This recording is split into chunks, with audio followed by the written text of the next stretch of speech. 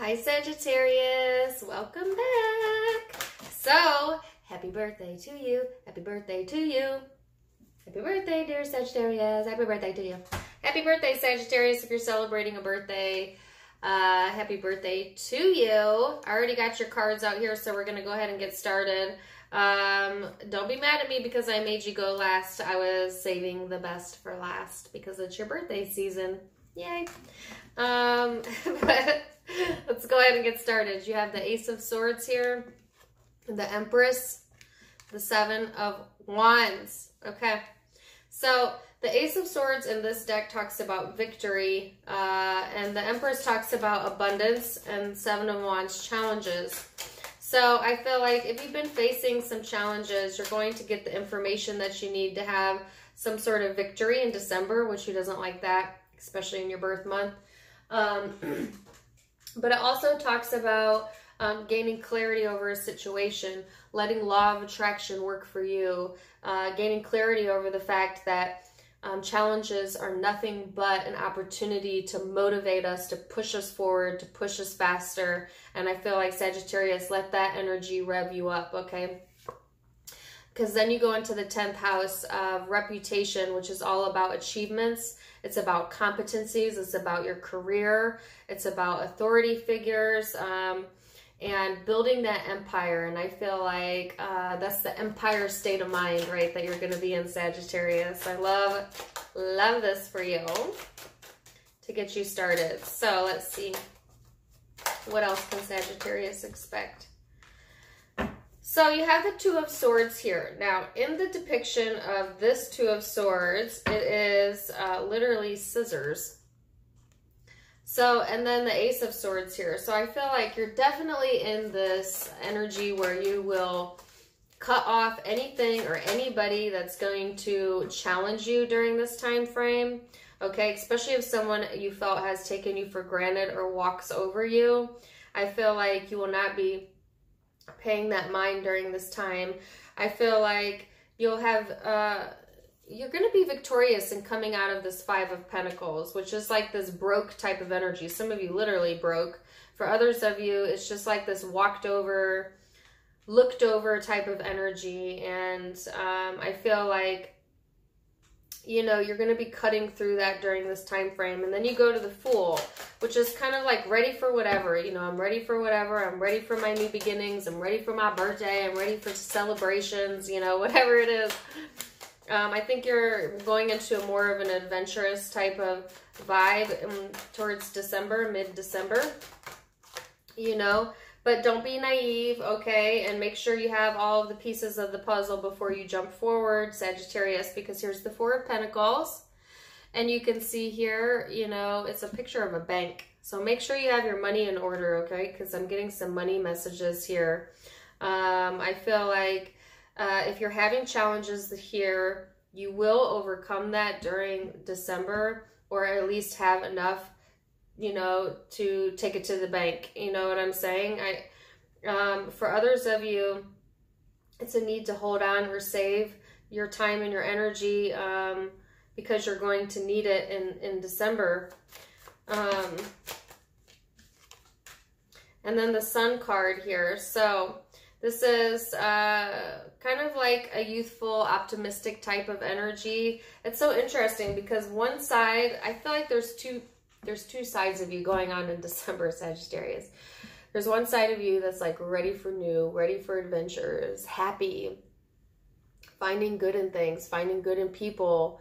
Uh, and then there's this other part of you that I think you keep to yourself, you know, that that's the likes to isolate or be alone and kind of like picks through old memories of things that you have yet to let go of. And I see that it can be a challenge to you actually bringing abundance towards you uh, because of that energy. You know what I'm saying? Like it kind of blocks you. Um, yeah. So then you go into the Ten of Pentacles here.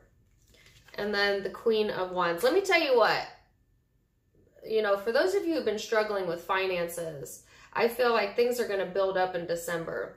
Or maybe you have a fear there. Like, I feel like the Ten of Pentacles is having exactly what you need. So, I think if there's some challenges or woes there, you will have what you need at the end of the day. Some of you are literally building up your finances and building into wealth um, during this time frame. So it's going to be different for each of you.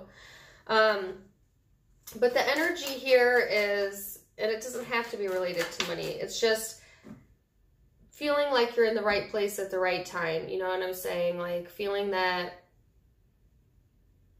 a peace of mind. You know what I'm saying? And then here, here you are, the Queen of Wands in the upright, having surprises, but good surprises in December, I feel. And as I say surprises, here's the tower. so I feel like there might be some very happy surprises come in December. Um, but I also feel like there's a sense of disorganization here. So some of y'all need to get your house in order or your finances in order or your, your brain in order. I don't know because you are this way, then this way, then this way, then this way, then this way, then this way. It's no wonder you started off with your crowning energy, the two of swords. you might be being pulled in two different directions or emotionally you're here and then you're there and then you're here and then you're there and it's it's kind of disconcerting, you know. So I feel like there will be some unexpected things happen in December, but I feel they're good, uh, good things, you know. Um, so I feel like, yeah. There's a caution here about, again, not getting caught in what you don't have versus what you have. Not getting disillusioned or it's it's almost like there's so many things going on, Sagittarius, both that are happy surprises. Some of them are, you know, like, um, I don't want to say not happy because I feel like there's a lot of great things going on around you, but you can kind of rain on your own parade mentally whenever you want. And I feel like a part of you is going to want to be drawn to do that. You know what I'm saying? Drawn to fo- still yet focus on what, like, there might be just this one thing that you don't have. And that's where your, all of your mind wants to go to. And it, and it pulls you away or it confuses the energy and it might be something that you're obsessing over that yeah you're passionate over but it's also somewhat toxic because it pulls you away from the present moment something like that okay so that's a caution for december and i think you want to free yourself from that energy right and that may be really challenging it, it's it can be uh, you know most of the battles we fight are in here think about it but I feel like you do want to free yourself from that energy or you'll be victorious in freeing yourself from that in December. So, Sagittarius, let's see who uh, the person you're dealing with is. For my Sagittarius. Okay, great. Seven of Swords. It actually came out in the reverse, and I was being sarcastic. Um, you could be dealing with a very sarcastic person. I'm not really sure where that came from. If there's been deceit going on with the person you're dealing with, it's coming out more than likely. If this person's been kind of hiding behind the scenes, they're going to make themselves known uh, pretty soon. Okay? Uh, if they've been hiding thoughts from you or... Um, holy cow. Okay, so as soon as I started the reading, I had the song by the Ambassadors unsteady. And it came out in a few other readings. And I don't remember which zodiac signs they were. I know one was Scorpio, and then there was another one. Maybe Cancer. I didn't say it earlier because I didn't feel it was pertaining to you. But now that I have the person you're dealing with's energy out, it pertains to them. And it's unsteady. And the lyrics are, um, hold, hold on to me, cause I'm a little unsteady. Okay, so let me show you why I say that. And it doesn't have to be one of those zodiac signs. You could be dealing with any zodiac sign. They had the Seven of Swords in the reverse, then the Ten of Swords, then the Queen of Cups in the reverse, then the Page of Swords in the reverse, then the Two of Swords in reverse. Okay, I have all of my cards are upright. I always do all my cards upright. So this is the most reversals I've gotten in a long time. And then the Five of Pentacles. Holy crap. You know what you may find out about this person is that they're still holding on to hurt. A lot of it. They're emotionally unbalanced. You know, they may have been hiding that, but I feel like it's going to be coming out, you know, point blank period. And with the Page of Swords here, it's like this person has trust issues times a million in the reverse. I actually don't think that there's a better version of the Page of Swords. Upright, it's kind of a an untrusting, kind of watch from afar, lying, deceptive energy. In the um, reverse, it could be a worsening of that and or all of that coming out because emotionally they cannot hold it in. And so there might be a little bit of an emotional explosion here. And that could be one of the things that's tempting you to go backwards because uh, I felt that you were split. It's like if you entertain this, I feel like you'll go into that spot that I told you about earlier where you're uh, discombobulated, you know, kind of going into the negative, holding on to old things and feeling walked over. If you choose to go out of that energy and not entertain this person, then I feel like there's a freeing of that and victory there. So I'm telling you, this is a person to be cautious of. It's the holiday season. It could be a family member. It could be a friend. It could be an intimate partner. It could be an ex, anyone. Lots of things resurface during the holidays. Am I right? um, I feel like this person feels or has a very strong spiritual connection with you here with the lovers, but they're also a lack mentality and if and they may be very challenging for you uh, because because of you feel a strong connection or because you have past history with this person because you've known each other a long time maybe. Um, and I feel like if they've been this person has some of you might have children with this person. But it's like they they have isolated or they've held it in and then here it is you know?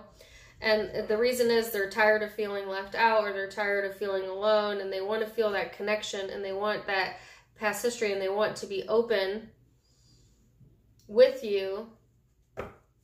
But the thing is, you know, they have a lot of heaviness and they're still holding on to old issues, old grudges, you know, still holding on to old habits. So the energy of this person hasn't changed. What they're showing you is going to change, but the true essence hasn't. And they're searching for emotional satisfaction, I feel, in anything outside of them. They're like sleepwalking, like they're just trying to latch on and feel something, you know, or like they see you doing good maybe and so they just want to touch that and maybe then they'll feel that and they don't understand that that happiness is to come from within themselves and it doesn't come from other things or other people or uh, substances or uh, you know career things like that. It has to come um, from inside of them and they're in the process of learning that Sagittarius but they haven't connected all of the dots yet um, because they're still a little bit left in the dark here. And that's something that that's a challenge that this person is going through and that they need to let go of but they're not willing to let go of that but yet they want to open themselves up emotionally to you. So that would be like an energy vampire. Your cross watcher is going to hate me sorry um, but it's like it would it sucks the life out of you when you open up to this person because they just take what you have to offer and they just you know latch onto it. And uh, certainly you have free will so you have a choice here uh, on whether or not to do that. But i feel that it will leave you feeling drained and confused versus liberated. So it's not that we don't give grace to those who are going through things, but you also want to protect your own energy as well. And I think that's going to be really important, okay? Um, the person you might be dealing with a lot of blue most definitely could be uh, a Scorpio or a Cancer or a Pisces because Scorpio and Cancer also had that come up in their readings. But I also have Gemini here. Um,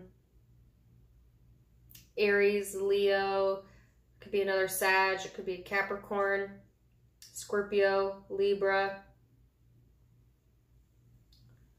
Virgo, Taurus. So that's what I have for you, Sagittarius. I hope you enjoyed it. Uh, please check out um, my other YouTube, Dana, Dana, Tarot Talks with Dana. Uh, click on that link below. You can now become a member and click join and get extra readings, live chats with me behind the scenes.